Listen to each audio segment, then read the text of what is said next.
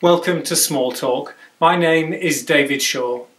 A little while ago, I was in a meeting, and one of the people in the meeting said, The situation we're facing is two monologues looking for a dialogue.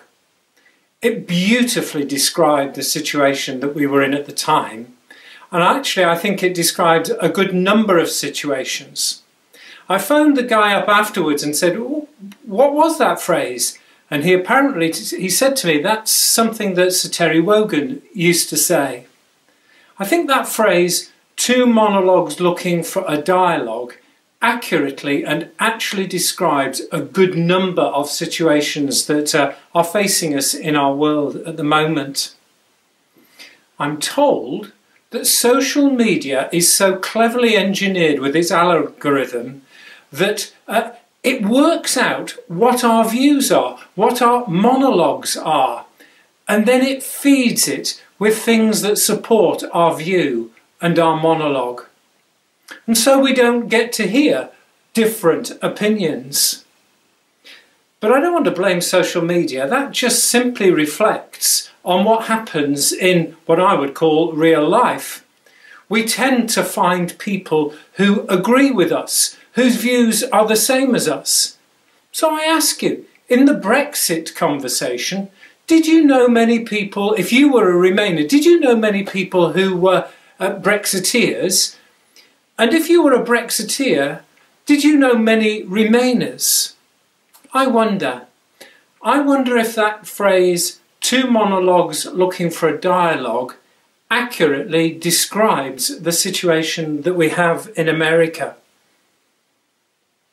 I was in a church council recently where we were discussing whether we should open our church up or not in this pandemic. We are legally allowed, to do so. And I'm proud to say that although people felt passionately on both sides of that, it felt as if there was a true dialogue. And what made the difference was the capacity of people to listen. They listened without trying to jump in and put their point of view, their side of the argument. It was actually a very, very precious time. I wonder what Bible passage or part of the scriptures this brings to mind for you. And I invite you to sort of open the treasure chest that is the book of Romans and hunt out the, the gem casket that is Romans chapter 12, and then open that, and you will see gems of one liners that describe how we are to relate. Now, none of them talk about listening, but what they describe is the attitude that we should have in our engagement with others that would enable monologues to become dialogues. And so in Romans chapter 12, we read some of these words Honour one another above yourselves. Possibly that means that the person who has a different opinion, you don't think of an idiot. Which, to my shame, I've sometimes thought when I've heard people on the radio uh, giving counter opinions. Honour one another, uh, others above yourselves.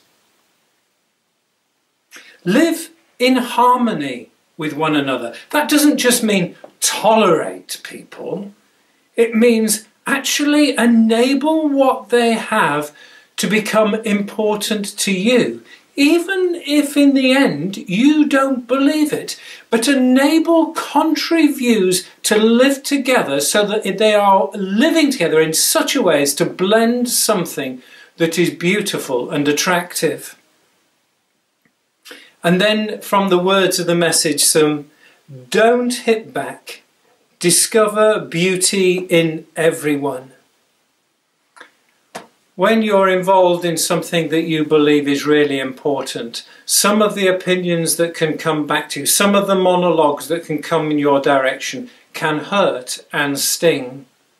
And the scripture, according to this translation, the message, don't hit back. Do not repay evil for evil.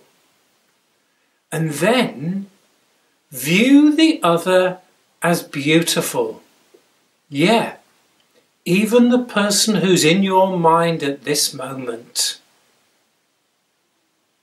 Thank you.